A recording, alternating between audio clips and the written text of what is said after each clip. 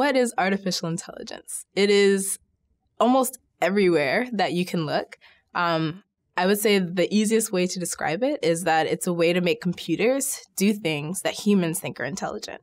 So this could be, yes, solving math problems, um, maybe even navigating around, but also giving directions, making art, um, speaking. These are all things that when um, you see humans do it, you're like, oh, this is a sign of intelligence. And so now we're making computers do those kinds of things. When you're on YouTube and it suggests the next video to play, that's artificial intelligence. When you're on Google and it's finishing your sentence, that's artificial intelligence. And then when you finally finish it and you hit enter and it gives you all of these different ideas and they're sorted in some way, it literally is searching trillions of websites.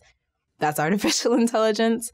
Um, when you're getting ready to go to a new place and you need to pull up a map and it figures out the route, that's artificial intelligence. When you pull up Instagram or Snapchat and you do the cool face filters that make you look like a bunny, that's also artificial intelligence.